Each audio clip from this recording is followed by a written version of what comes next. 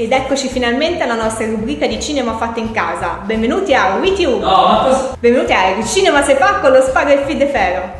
Nel primo appuntamento abbiamo parlato delle fotocamere da scegliere per le riprese, questa volta parleremo di audio. Se usate fotocamere digitali, l'audio viene registrato da un piccolo microfono interno e regolato automaticamente da un filtro autogain non disattivabile. Il risultato non è di grande qualità. Quindi per una qualità migliore vi consigliamo di dotarvi di un supporto esterno che registri audio non compresso. Ne esistono molti sul mercato, noi abbiamo scelto uno Zoom H4n, un apparecchio semi-professionale dal prezzo accessibile e con dei buoni microfoni incorporati. Alla fine vi troverete due file distinti, audio e video, da sincronizzare.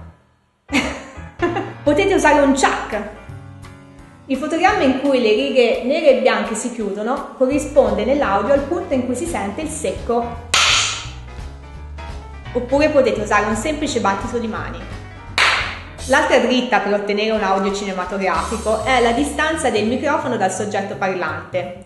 Con il microfono della telecamera la cosa funziona se siete vicini al soggetto parlante, ma non se siete lontani. Così non è molto cinematografico.